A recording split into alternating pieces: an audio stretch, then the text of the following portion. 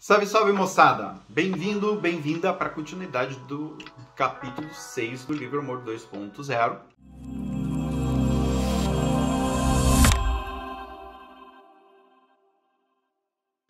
E hoje nós estamos falando a respeito do amor próprio, né? Nesse capítulo, o eu que se ama.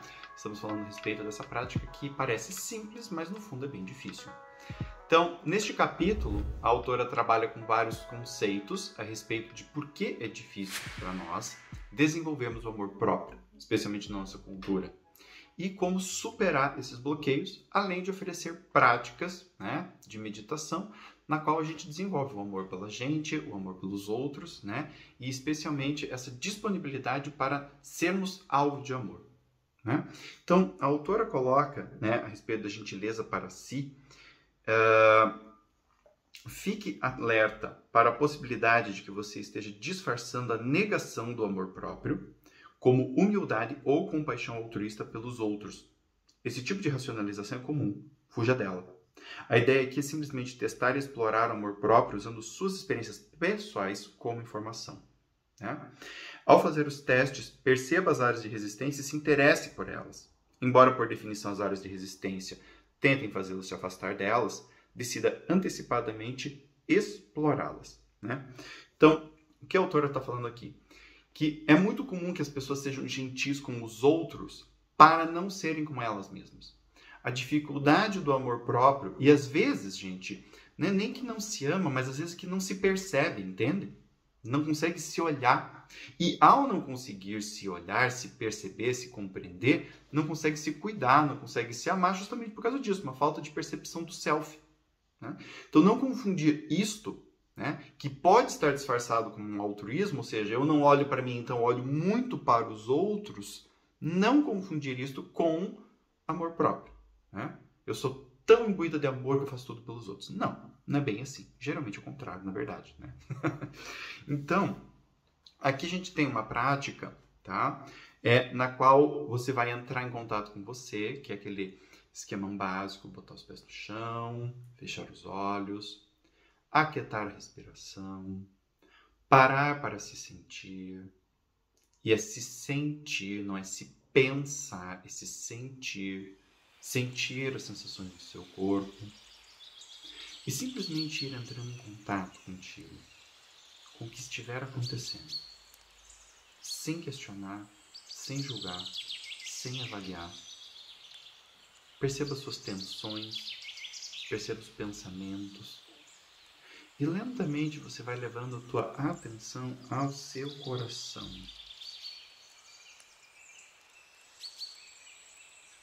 Como se você estivesse apenas focando mais no seu coração do que em qualquer outra parte do corpo. Percebendo a pulsação do coração. Esse batimento cardíaco. E o efeito que ele tem, a reverberação do corpo todo. E aqui você não tenta mudar nada. Se você está tenso, você está tenso. Se você está preocupado, você está preocupado. Se você está em paz, você está em paz. Se você está com raiva, você está com raiva. A ideia aqui não é mudar. A ideia é apenas se perceber.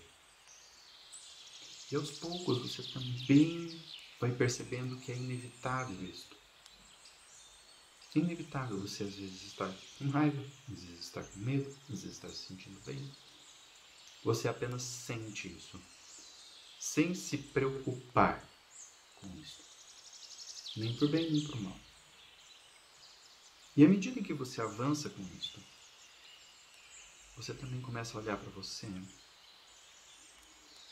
e começa a se permitir recordar de suas qualidades, Comece a se permitir recordar de coisas boas que você fez. Sem ficar buscando pelo melhor.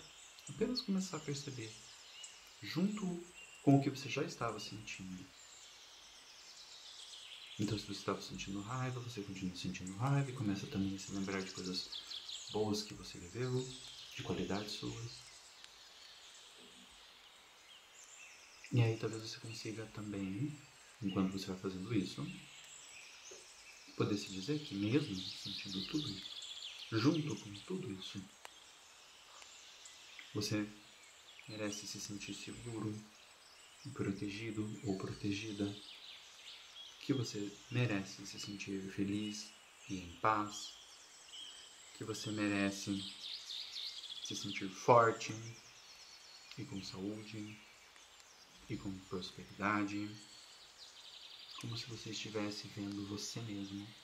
Você deseja tudo isso para você, como se você fosse um amigo seu que muito queria. Hum? Então, você fala uma dessas frases, que eu me sinta seguro, segura, que eu me sinta feliz, que eu me sinta com saúde. E você fala cada uma delas pausadamente, hum? Para você sentir. Não é uma ideia, é uma sensação.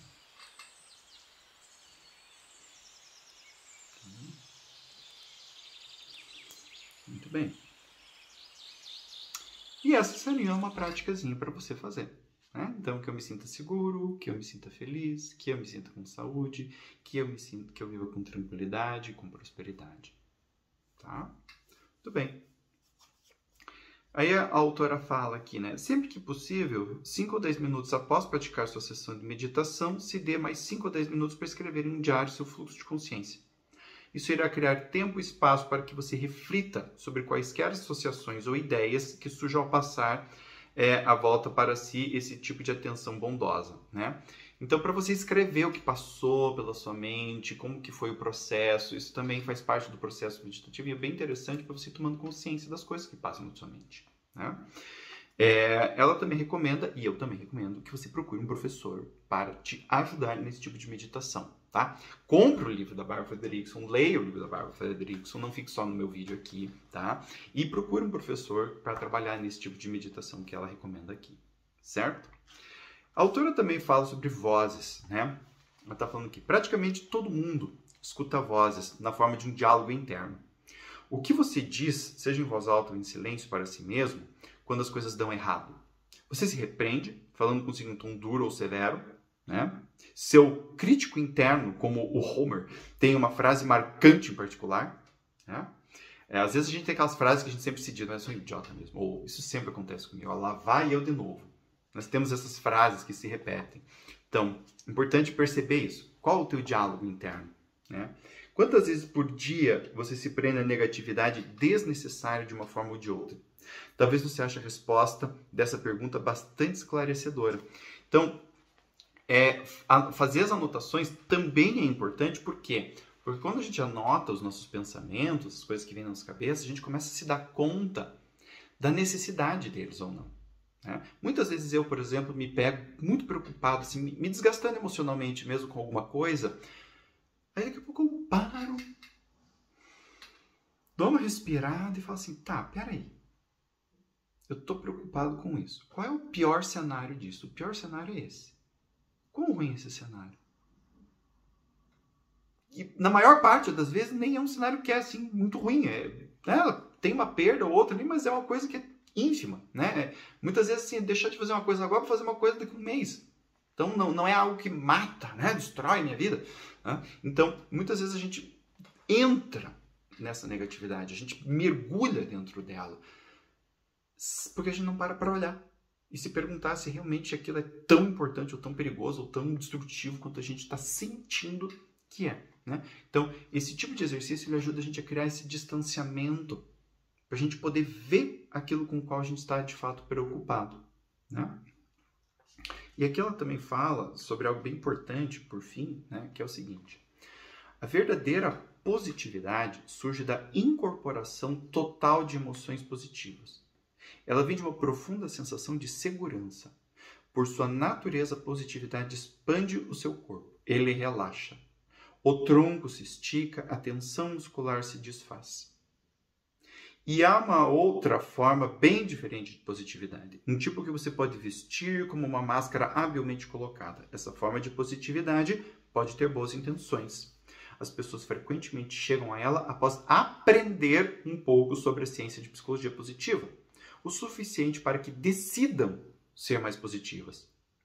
Um sinal que denuncia essa forma de positividade como algo falso é que ela permanece acima da linha do pescoço. Aparece nos canais que você pode controlar melhor: palavras, expressões faciais e diálogo interno. mas ela não se enraiza no seu corpo. Eu chamo isso de positividade de olhos fechados, porque sua perspectiva do mundo é autoprotetora e não imersiva, tá? Então vejam, a própria autora, né, que pesquisa emoções positivas, está falando isso, tá? Eu sempre bato nessa tecla. Né? Positividade tóxica. O que é positividade tóxica? Positividade tóxica é positividade de discurso. Eu falo, né, que ela fala acima da linha do pescoço. Então eu discurso sobre algo positivo. Eu não vivo isso.